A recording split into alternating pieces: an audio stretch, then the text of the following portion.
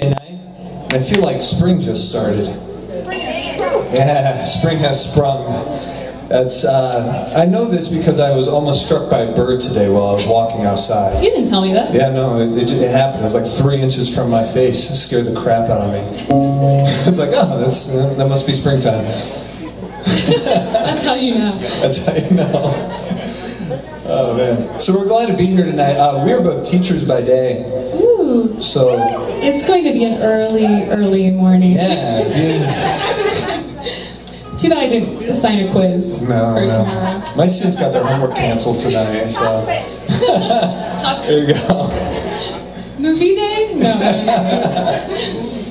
so this next song was our very first single that we came out with. Um, we've been together for about a year and a half, and um, this is called The Ignition. And we are storytellers by nature. Uh, we used to be in a six-piece band called um, Bethesda, who was a big storytelling band, and so Eric has a quick story with this one. If you guys don't mind, on a Tuesday night, Right. Yeah. I brought my book with me, so I'll just read it straight from the book. Is that? I'm joking. I'm not. People are like, oh, that kind of story. Um, so I actually grew up in a in a cult. Um, Ooh. so Any other takers in here? cult cult members. no no cult members. We're all alone on that one. Uh, Hey, it wasn't me. Went for the back. Um, so I got kicked out of that cult when I was about 14 uh, because I was flirting with a girl of all things, right?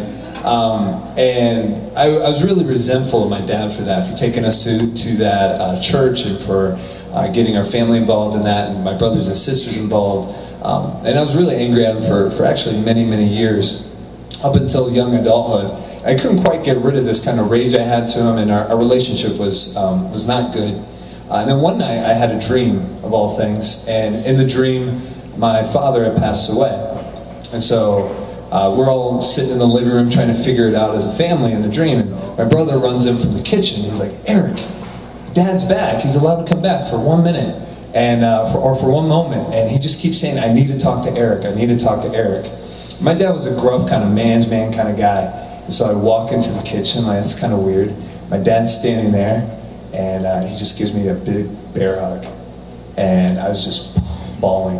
And so I, I woke up just covered in tears, like soaking wet on the bed kind of deal. And I was like, wow. Uh, I realized that everything my father did, he did because he, he truly loved us. Um, so this is a song about, about that. It's called The Ignition. I hope you like it.